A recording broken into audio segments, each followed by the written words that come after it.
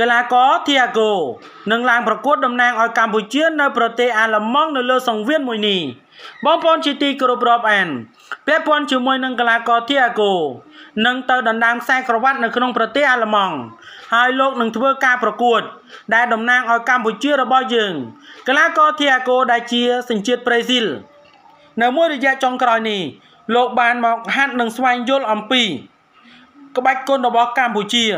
ជាពិសេស ចំពោះគុណខ្មែរដែលជាប់នៅលើប្រាង្គប្រាសាទនៅក្នុងនោះផងដែរធីអាហ្គោនឹងត្រូវជួបជាមួយនឹងកីឡាកររបស់អង់គ្លេសនៅក្នុងពេលបច្ចុប្បន្ននេះអ្វីដែលសំខាន់នោះធីអាហ្គោនឹងធ្វើការប្រកួតនិងដើម្បីតំណាងឲ្យកម្ពុជារបស់យើង ដើម្បីដណ្ដើមខ្សែក្រវ៉ាត់ជាលក្ខណៈអន្តរជាតិនោះផងដែរនៅក្នុងសកម្មភាពនេះបានបង្កឲ្យមានការចាប់អារម្មណ៍យ៉ាងខ្លាំង បើសិនជាអ្នកចិត្តខាងរបស់យើងលឺទំនងជាខឹងប៉ុណ្ណានោះទេ ហើយប្រហែលជា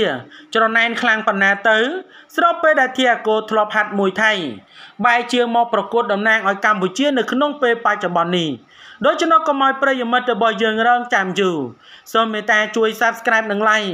ដើម្បីទទួលបាននូវព័ត៌មានថ្មីៗបន្ថែមទៀត។ រាជធានីភ្នំពេញនៅក្នុងថ្ងៃទី1ខែមេសា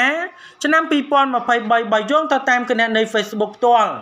របស់អង្គការស្រីចន្ទថនដែលជាអនុប្រធាន សហព័ន្ធកីឡាប្រដាល់គុនខ្មែរនិងជាប្រធានក្លឹបគុនខ្មែរជើងឯកពិភពលោកនៅមុននេះបន្តិចលោកបានឲ្យដឹងថានៅក្នុងនោះផងដែរគឺកីឡាករធីអាហ្គោនឹងឡើងប្រកួតតំណាងឲ្យកម្ពុជា នៅ ប្រទេសអាល្លឺម៉ង់នៅលើសង្វៀន LH បាទ LKH Arena ដែល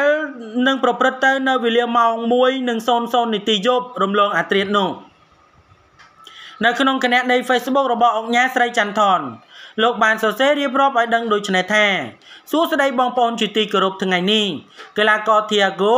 នឹងឡើងប្រកួតតំណាងឲ្យកម្ពុជានៅប្រទេសអាល្លឺម៉ង់នៅលើសង្វៀន LKH Arena នៅវេលាម៉ោងប្រហែលជាមួយ00នាទី AM រំលងអាត្រៀននៅពេលខាងមុខនឹងគឺក្រុមការងាររបស់យើង កំពុងតែព្យាយាមធ្វើការងារប៉ុន្មានថ្ងៃចុងក្រោយនេះយ៉ាងមមាញឹកខ្លាំងបំផុតដើម្បីអាចធ្វើការផ្សាយការប្រកួតមួយនេះបានប៉ុន្តែខាងភៀកគីថៃជាម្ចាស់កម្មវិធីក៏កំពុងតែរឹតបន្តឹងយ៉ាងខ្លាំងតាក់ទងជាមួយនឹងការ live សម្រាប់ប្រទេសកម្ពុជា គេមិនចង់ឲ្យយើងនឹងល្បីទេបងប្អូន គេខ្លាចយើងនឹងល្បីលើពិភពលោកស្គាល់របស់ពិតហើយក៏ដឹងថាខ្លួនគេគឺជាអ្នកកូពីពីកម្ពុជាដែរអុកញ៉ាស្រីចន្ទថន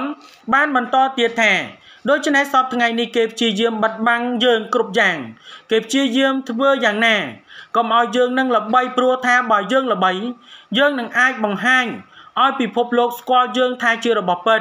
គឺជាម្ចាស់ដើមនៃក្បាច់គុណ ពីមុនគេថា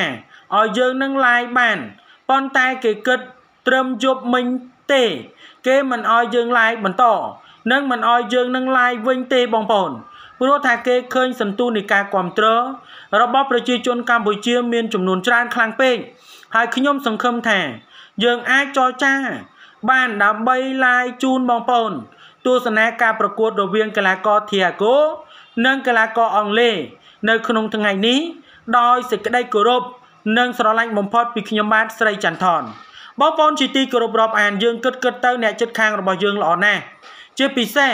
គាត់ហ្នឹងធ្វើឲ្យយើងមានការលំបាកគ្រប់យ៉ាងសូម្បីតែ live ផ្ទាល់